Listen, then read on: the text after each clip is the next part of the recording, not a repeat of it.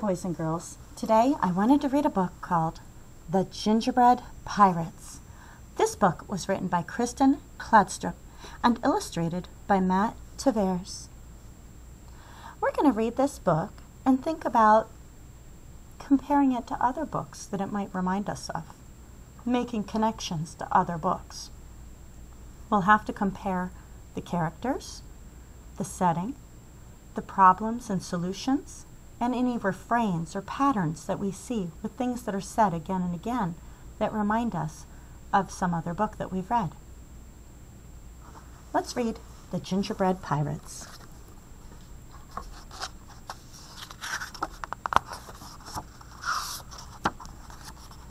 The Gingerbread Pirates by Kristin Kladstrup. It was Christmas Eve, and Jim and his mother were making gingerbread men. Let's make a pirate crew, said Jim. And so they did. The captain had a gingerbread cutlass and a peg leg made from a toothpick. Jim loved him best of all. You'd better leave some pirates out for Santa Claus to eat, said his mother. Not Captain Cookie, said Jim. At bedtime, Jim took the captain to his room. I wish you had a ship, he whispered as he climbed into bed. Then he lay awake, listening for reindeer hoofs on the roof. Captain Cookie seemed to be listening too.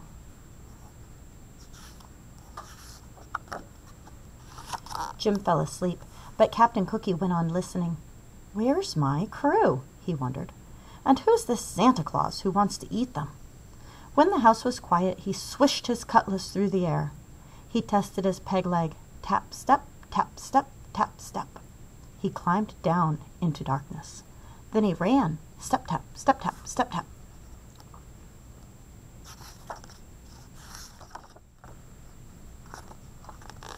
He ran until he came to a cliff. He dropped his cutlass over it, then followed. He found his cutlass and then another cliff. So he did it all again, one cliff after another, until he reached the bottom. Let's look carefully at this picture. Those aren't cliffs, those are steps. When he got to the bottom, Captain Cookie had a shock. A mouse was nibbling on his cutlass. What is his cutlass? It's his sword. Why, it's half gone, cried the captain. He grabbed the cutlass and slashed at the air. Oh, it's ruined, he moaned, and off he went. Stomp tap, stomp tap, stomp tap. Merry Christmas, called the mouse. Christmas? What's that? thought the captain. Then he turned a corner and saw something that astonished him. A huge tree with stars in its branches. Ahoy there! called a voice. Looking up, Captain Cookie saw two pirates climbing down toward him. My crew, he thought.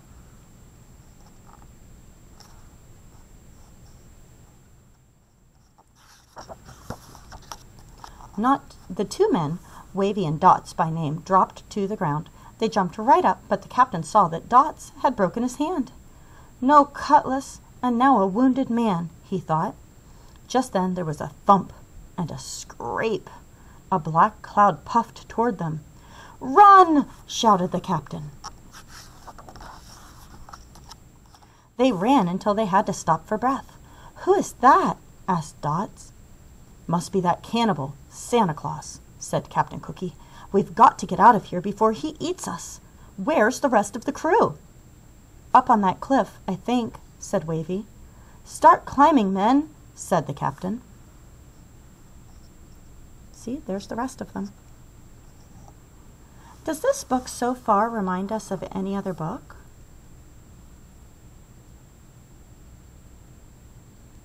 Just a little, huh? Not very much. Is there a pattern or refrain?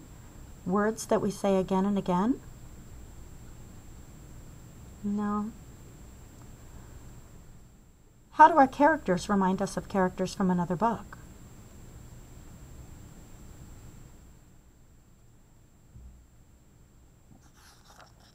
What is the problem in this book? Captain Cookie wants to save his men the other cookies. What does he want to save them from? Santa Claus, he likes to eat cookies. Up they went. They're in jail, cried Dots when they reached the top. Save us, cried the pirates. Wavy and Dots kicked at the prison walls. They tried in vain to move the roof. What about a rope and a pulley from the ship? said Wavy. What about the ship's cannon? said Dots. There is no ship, said the captain. Then he noticed a strange look on Wavy's face and he whirled around. What he saw made him wish for his cutlass. What do you think he saw behind him? We can use our pictures, our illustrations for a clue.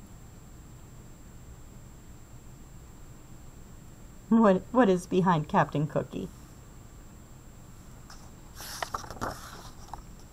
A gigantic man was leaning over them. Young Jim always leaves cookies for me, he said, but the plate was empty, so I came in here. Look out, boys, ordered the captain. The big man lifted the prison roof and peered in. Don't you eat my crew, shouted the captain, raising his fists.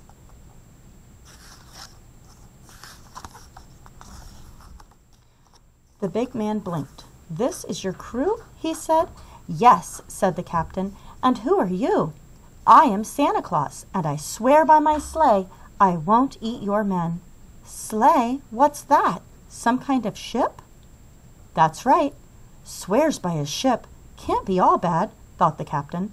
Still, he was suspicious. What are you doing here? he asked. Why, it's Christmas. Christmas, said Captain Cookie. I wish somebody would tell me what that is. Santa Claus laughed. Follow me, he said. I'll show you a bit of Christmas.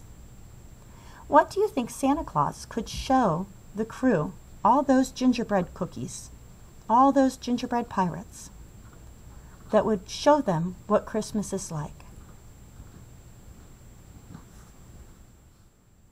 Let's find out.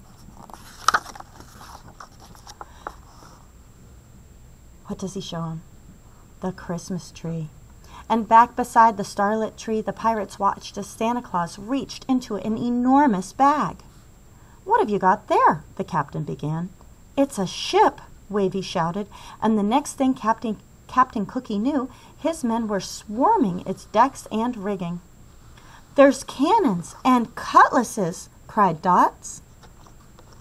So we still don't have a pattern or refrain that gets repeated again and again in this book, do we? How is this book different than our other gingerbread books?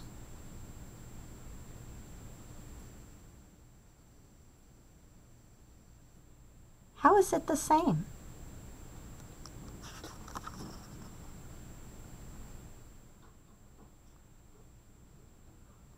The problem in this book was that Captain Cutlass, or Captain Cookie, was afraid that Santa Claus was going to eat his crew. Hmm, did that problem get solved yet? Let's read and find out more. The sky glittered with stars. The captain rubbed his eyes. Real pirates, he thought, and a real ship. He turned to look back. Merry Christmas, he called, but Santa Claus was already gone. On Christmas morning, Jim's mother found an empty plate on the mantel. It looks like Santa Claus found the gingerbread men, she said. He did find them, but did he eat them? No. But they seem to have disappeared. I wonder what's happened to them. Jim was admiring his presents. His favorite was the pirate ship and its pirate crew. Now we know Santa Claus left the ship for him. Did Santa Claus turn those cookies into real pirate toys for Jim? He did. He didn't eat them. The captain had a cutlass and a peg leg, and Jim loved him best of all.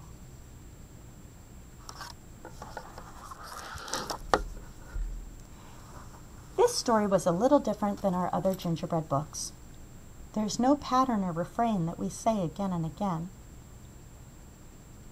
How is it the same, though? The problem is still somebody wants to eat the cookies. And are the cookies just regular old cookies like chocolate chip cookies or oatmeal raisin? No, they're gingerbread. That's the only thing that's the same, though that the cookies are made of gingerbread and that somebody wants to eat them is the problem. Thank you for reading this book with me. I hope you enjoyed it.